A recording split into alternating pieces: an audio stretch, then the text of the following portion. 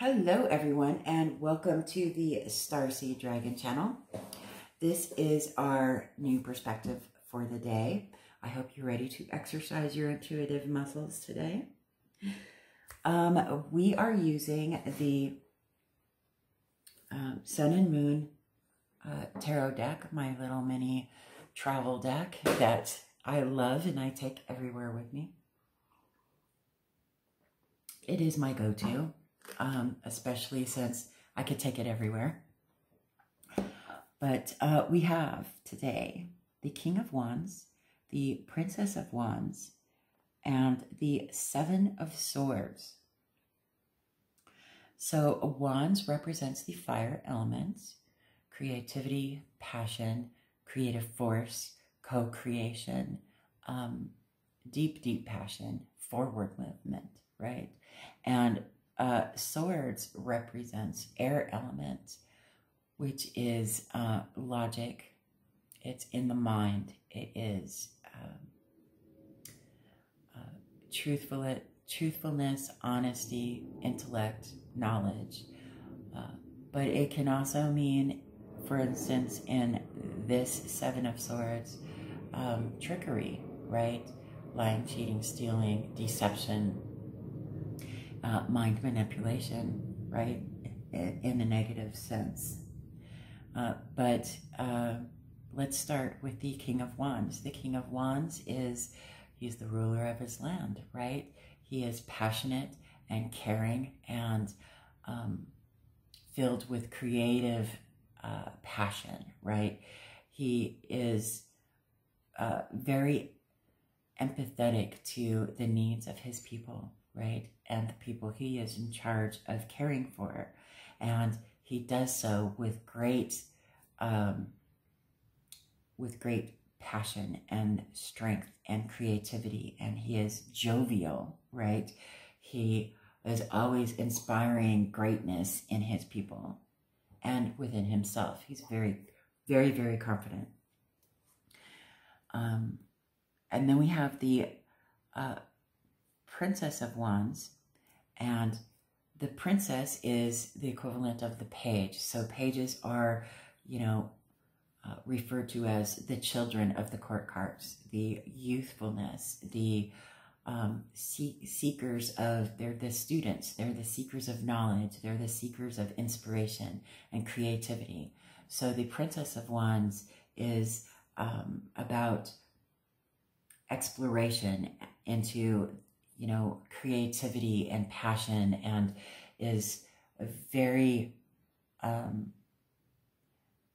creative in a naive, um, in a naive way that is open to all of the knowledge that she can um, possibly manifest, right? And possibly encounter. She wants to learn a little bit about everything and is very, you know, very much into encompassing all of the things around her, right?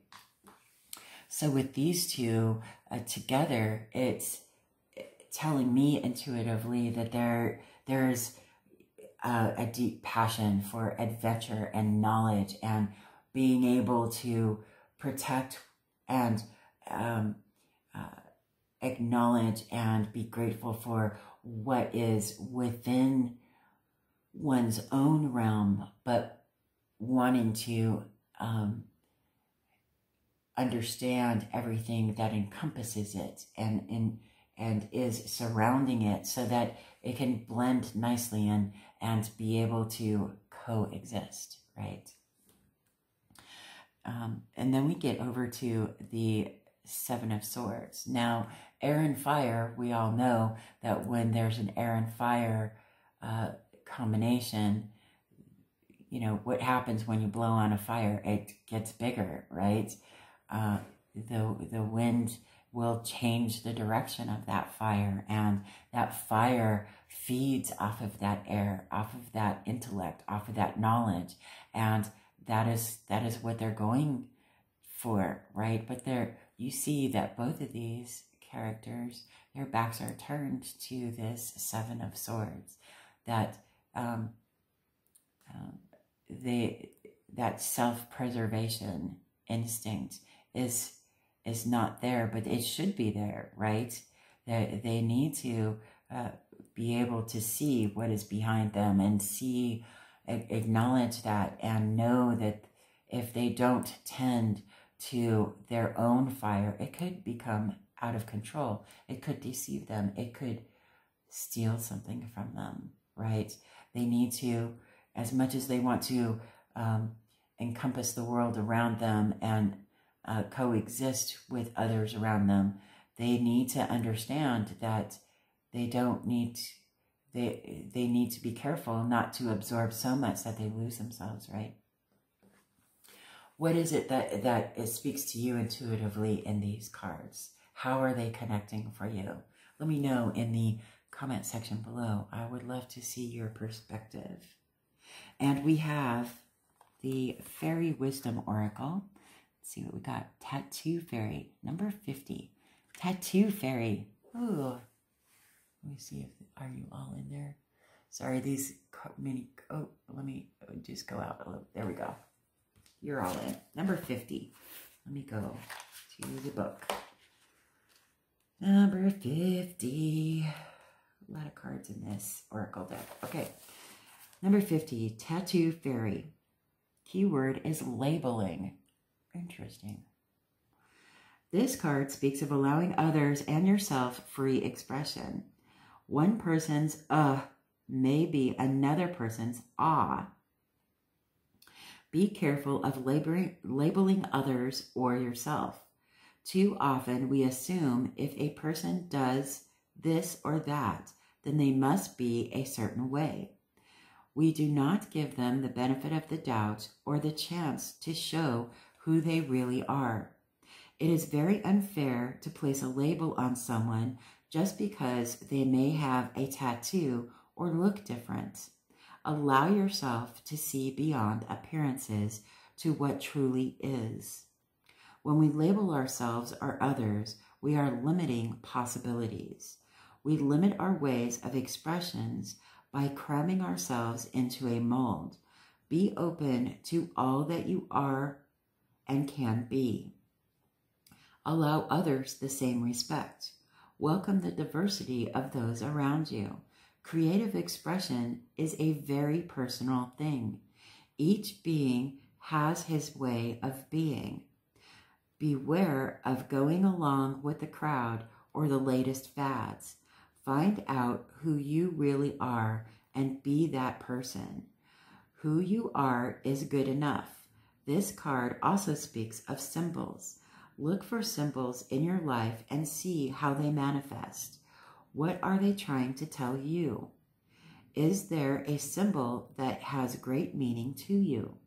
So much that you wish to wear it upon your body as a tattoo or a piece of jewelry. If so, it uh, carries a message for you to decipher. It might be considered a badge of honor. The chant Through the golden light of the realm, I see my true self in all my perfection. I see the perfection of all others, and I honor their right to be just as they are. We are all perfect, perfect children of the one source. So be it. Cut the labels out of your clothes today. Gorgeous. I love it. I know I say that every day, but I always mean it. So we have some super attractors. We got two today, I think. Let an inner sense of quiet multiply each day as I strengthen my faith in the love of the universe. I love it. And what is this one? I let the universe catch up with my dreams. Beautiful. Beautiful. What is it that your intuition is telling you about these cards today? Let me know in the comment section below. I would love to hear your perspective on what these cards are telling you today. Uh, put it in the comment section below. I'd love to have a conversation with you. Other than that, have a wonderful day, and I will see you on the next video.